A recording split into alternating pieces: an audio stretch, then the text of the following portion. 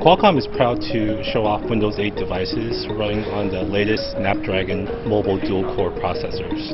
This is the result of over a year of close engineering collaboration between Microsoft and Qualcomm. Qualcomm will provide one of the best user experiences for Windows 8. With Windows 8, Microsoft has redesigned Internet Explorer and offers a world-class browsing experience.